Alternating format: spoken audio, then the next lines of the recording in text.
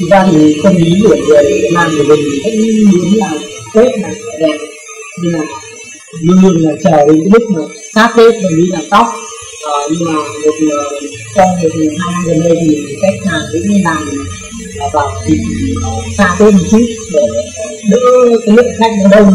Nhưng mà đến ờ, gần Tết thì mình khách nó cũng đông lên một cái tâm lý là vẫn muốn là mình có một kiểu tóc nào đó phù hợp nhất để đi chơi Tết.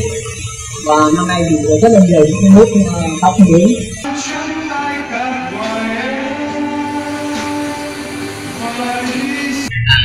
So với những ngày bình thường thì tăng khá là nhiều. Có thể gấp ba bốn lần còn ngày bình thường thì lập thì tất nhiên thì nó cũng tăng theo với lượng khách.